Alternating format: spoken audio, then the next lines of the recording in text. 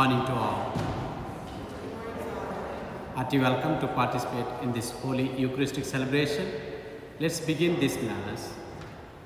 In the name of the Father, and of the Son, and of the Holy Spirit. Amen. The grace of our Lord Jesus Christ and the love of God and the communion of the Holy Spirit be with you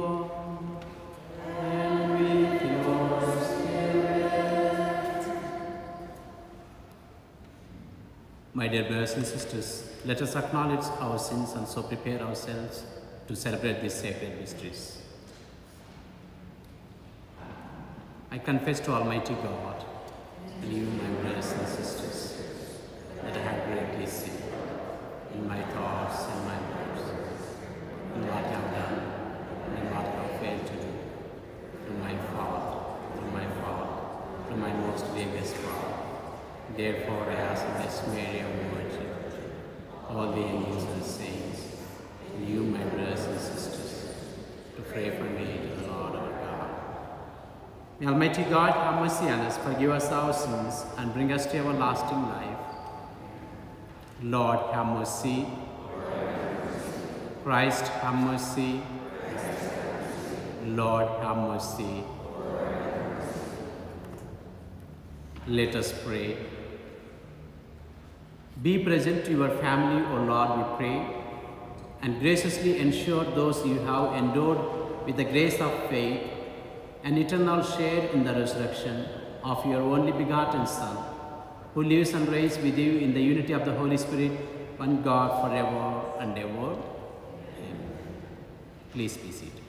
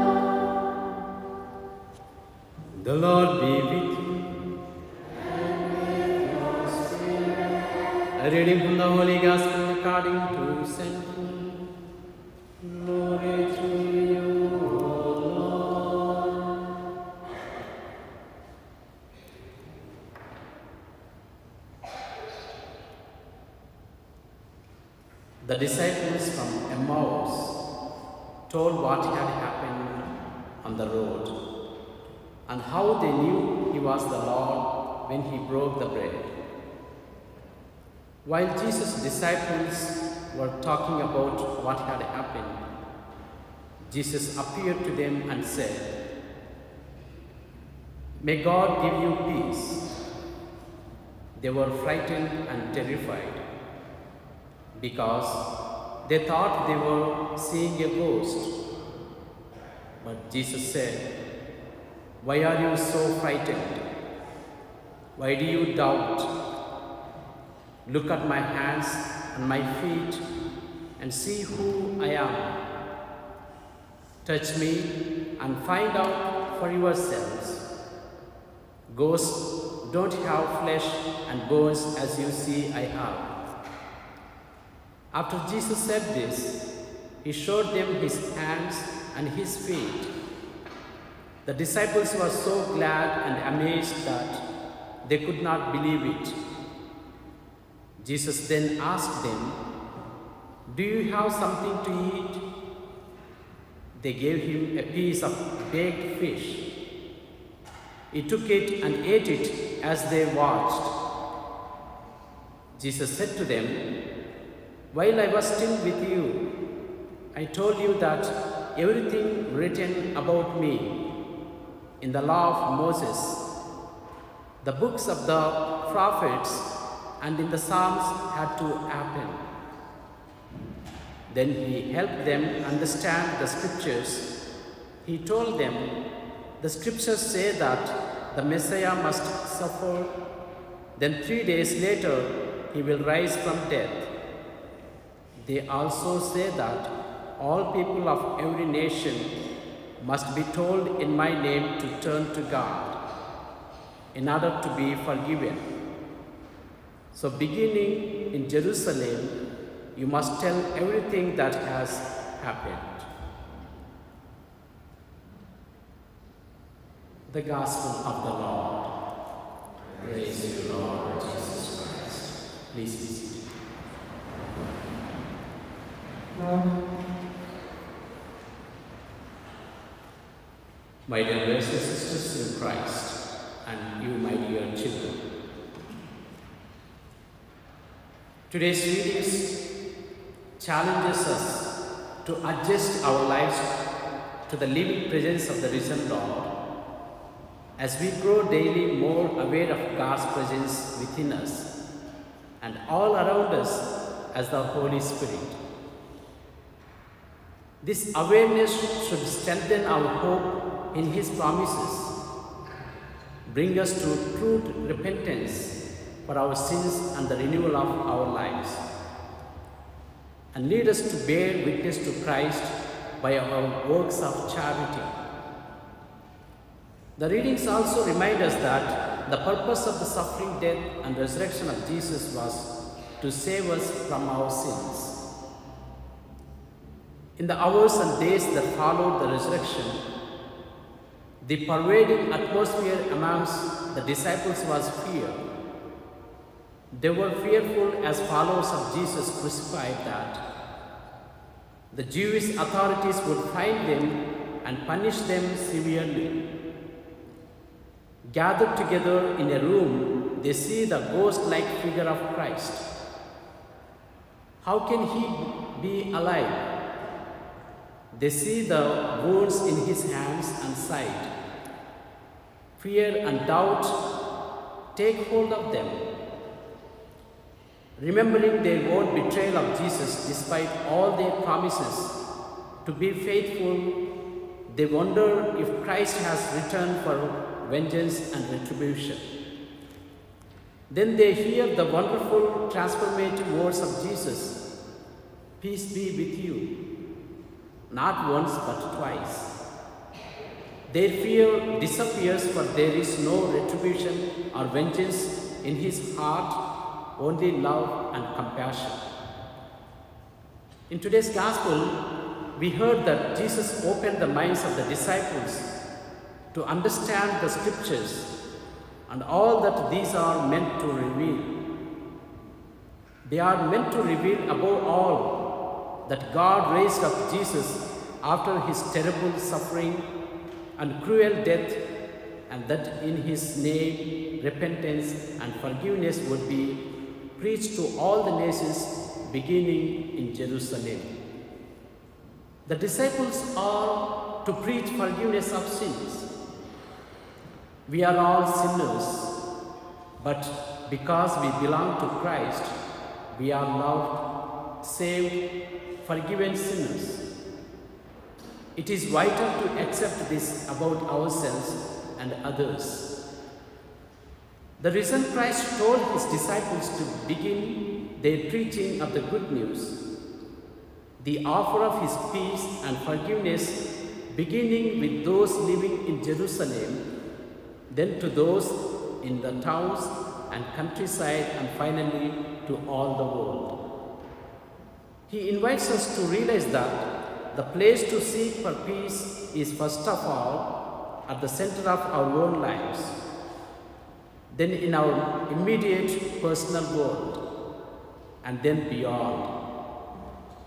We make our impact where we can and then we let the ripples spread outwards.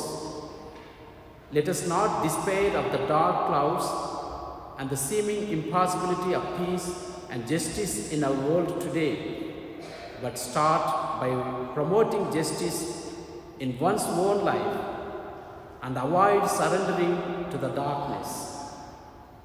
When the risen Lord appeared to the frightened and confused disciples, they wondered if he were a ghost, but he quickly moves to reassure them by taking a piece of grilled fish and eating it. It is not something very ordinary. God continues to appear in our daily life in very ordinary ways. God wants to open our eyes to the presence of the risen Christ in the ordinary happenings of life. It is in the small things that the everyday details of life, the moments of caring and sharing when we reach out to others, that we show that Christ is risen among us. The risen Christ is not apart from the world, He is in our midst, not controlled by religious language and practices. Then Jesus asked them to touch his wounds. Needless to say, they are not any old wounds. They are the wounds the world inflicts on those who love God above all else. They are the wounds of those who live for others rather than for themselves. Jesus didn't hide his wounds because they were the price of his love. Neither did Jesus become embittered because of his wounds. Our own wounds maybe are those caused by betrayals by others, things like disappointments, ingratitude, being taken for granted, etc. His wounds give us hope in our wounds. A personal faith in the resurrection of Jesus does not happen instantly. It has to be woven into the fabric of life. We have to live the gospel before we get to know the person behind the words. As St. John says, anyone who says, I know him, and does not keep his commandments is a liar. Hence, my dear friends and children in Christ, we will never know how to swim, for instance, by reading books on swimming. We have to put the book down and get into the water. We will never become fluent in language unless we start speaking it. We will never be a witness to the resurrection of Christ unless our thoughts words, and actions are motivated by love. And finally, I bring forward Blessed Mother Teresa of Calcutta used to say that the greatest hunger in this world is not for food, but for love and peace. May God bless us all. Amen. In the name of the Father, and of the Son, and of the Holy Spirit.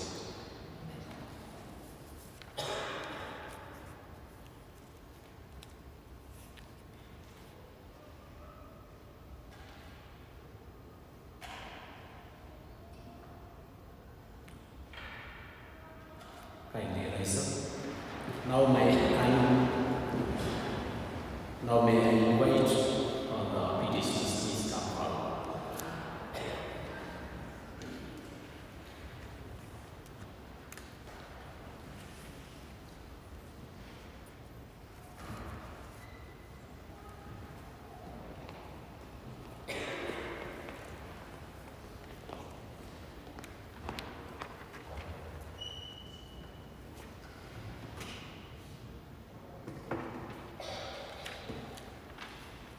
For Bishop Powers and all the priests and teachers as they help us to learn more about Jesus, we praise the Lord. Lord, hear our prayer.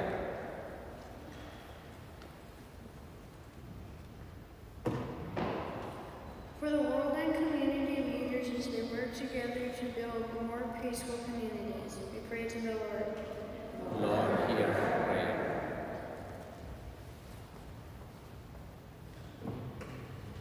For all those who are sick, may they find comfort and healing.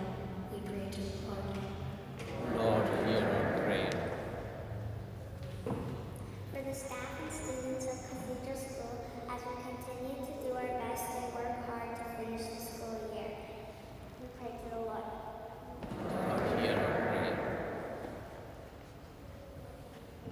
For those prayers we hold in our hearts, we pray to the Lord. Lord, hear our prayer.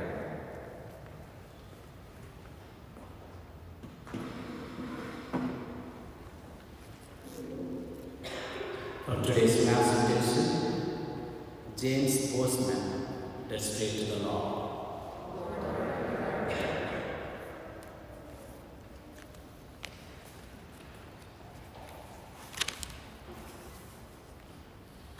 God of love and glory, you raised Christ Jesus from the dead.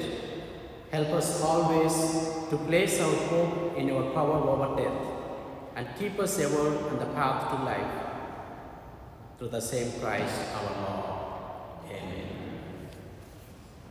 O God, we earnestly ask you to bless our diocese with many priests, brothers, sisters, and deacons who will love you their whole mind and heart and gladly spend their entire lives serving your church and making you known and loved. Bless our families, bless our children, and choose from our homes those needed for your work. Mary, Queen of the clergy, pray for us, pray for our priests, religious and deacons. Obtain for us many more. We ask this through Christ our Lord. Please be seated.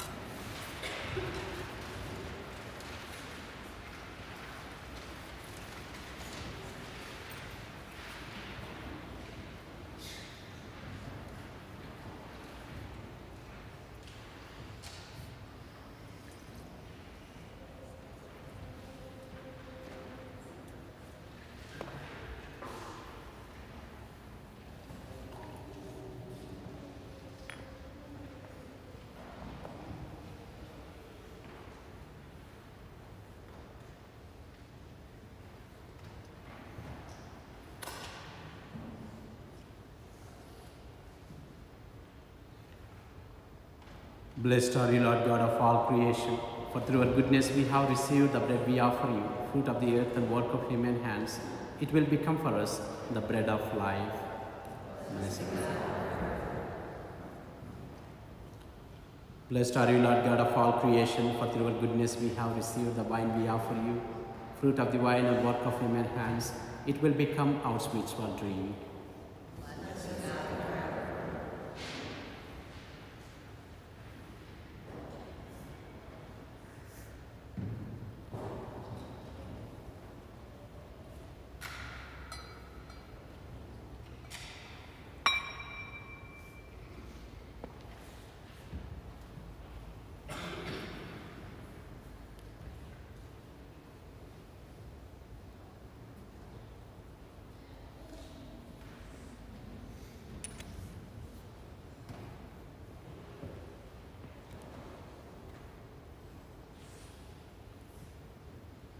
Kindly rise up.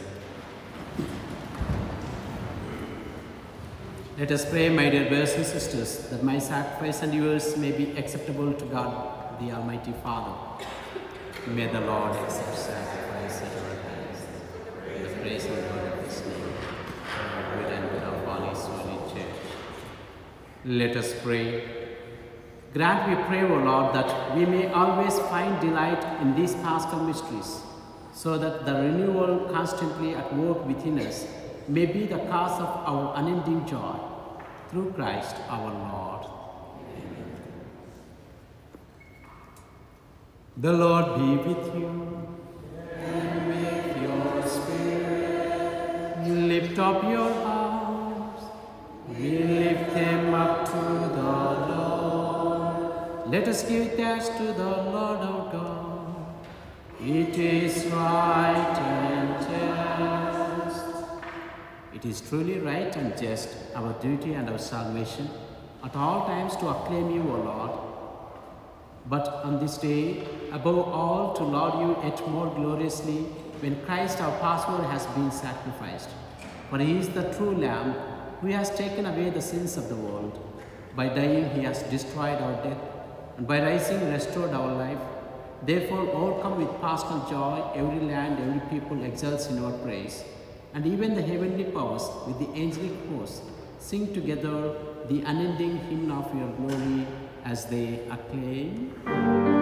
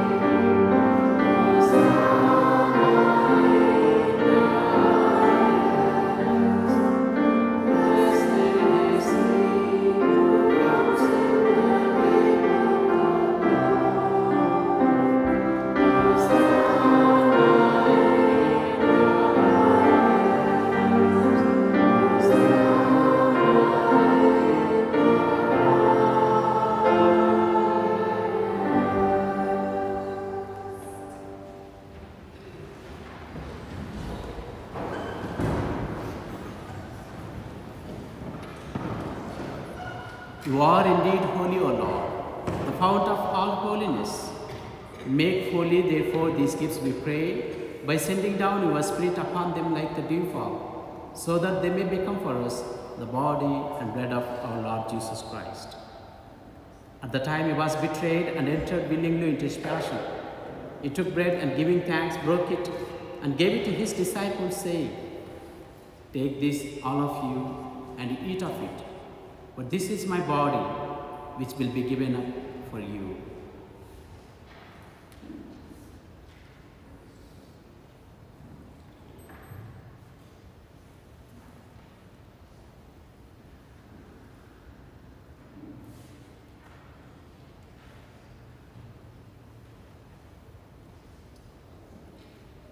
In a similar way, when supper was ended, he took the chalice and once more giving thanks, he gave it to his disciples, saying, Take this, all of you, and drink from it. For this is the chalice of my blood, the blood of the new and eternal covenant, which will be poured out for you and for many for the forgiveness of sins. Do this in memory of me.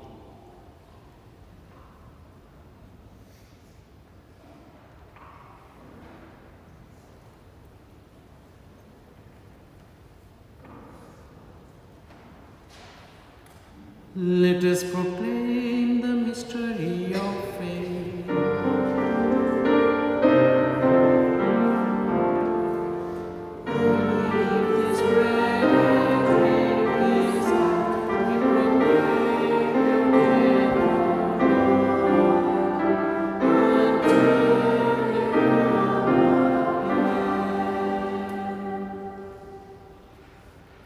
Therefore, as we celebrate the memorial of his death and resurrection, we offer you, Lord, the bread of life and the chalice of salvation, giving thanks that you have held us worthy to be in our presence and minister to you. Humbly we pray that partaking of the body and blood of Christ, we may be gathered into one by the Holy Spirit. Remember, Lord, your church spread throughout the world and bring her to the fullness of charity together with our Pope Francis, James, our Bishop, and all the clergy. Remember also our brothers and sisters who have fallen asleep in the hope of the resurrection, and all who have died in mercy. Welcome them into the light of your face. Have mercy on us all, we pray that with the Blessed Virgin Mary, Mother of God, the Blessed Joseph, our spouse, the blessed apostles, and all the saints who have pleased you throughout the ages, we may merit to be co-heirs eternal life, and may praise and glorify you through your Son, our Lord Jesus Christ.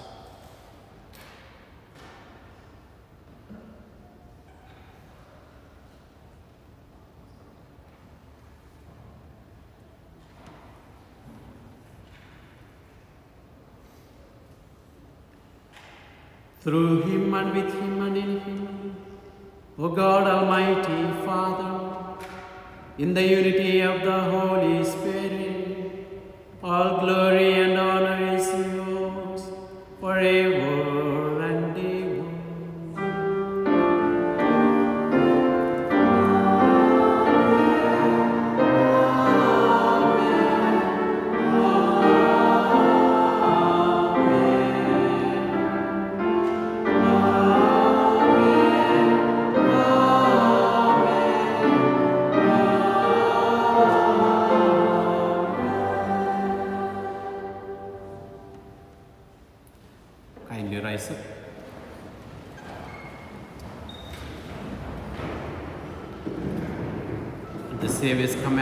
by divine teaching, we dare to say, Our Father, who art in heaven, hallowed be thy name. Thy kingdom come. Thy will be done on earth as it is in heaven. Give us this day our daily bread, and forgive us our trespasses, as we forgive those who trespass against us. And lead us not into temptation, but deliver us from evil. Deliver us, Lord, we pray from every evil. Graciously grant peace in our days, that by the help of your mercy, we may be always free from sin and safe from all distress, as we await the blessed hope and the coming of our Savior Jesus Christ. For the kingdom, the power, and the glory are yours. Lord Jesus Christ, who said to your apostles, Peace I leave, my peace I give you. Look not on our sins, but on the faith of your church. And graciously grant her peace and unity in accordance with your will, who live and reign forever and ever. The peace of the Lord be with you always. Let us offer each other the sign of peace.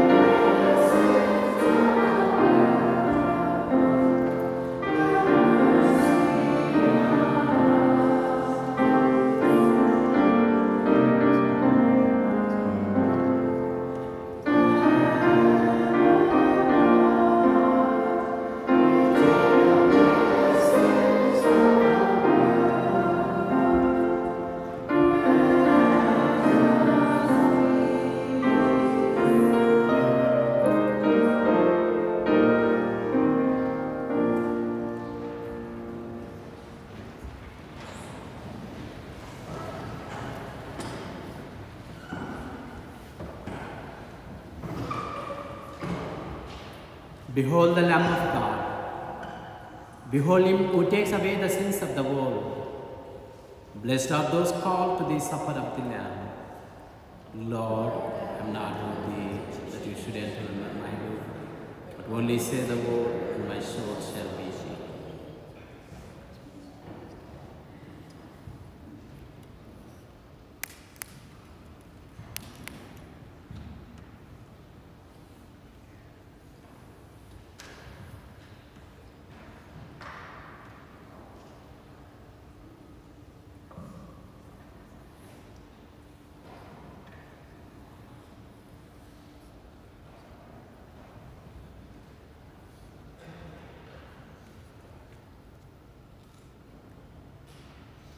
Spiritual communion prayer.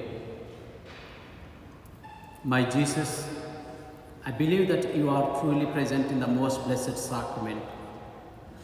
I love you above all things, and I desire to possess you within my soul. Since I am unable at this moment to receive you sacramentally, come at least spiritually into my heart. I embrace you as being already there and unite myself wholly to you. Never permit me to be separated from you. Amen.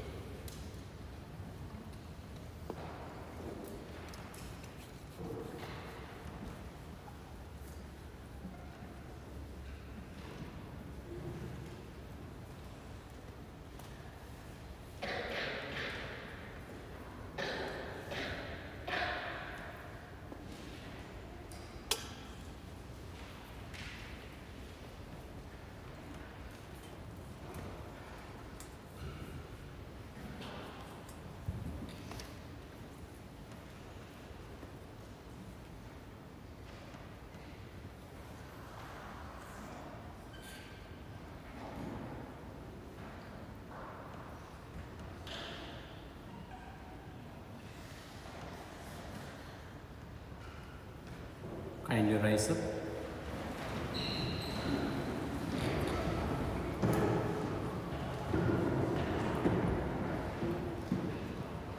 Hear, O Lord, our prayers, that this most holy exchange by which you have redeemed us may bring your help in this present life and ensure for us eternal gladness through Christ our Lord. The Lord be with you. May Almighty God bless you, the Father, and the Son, and the Holy Spirit. The Mass is ended. Let us go in the peace of Christ.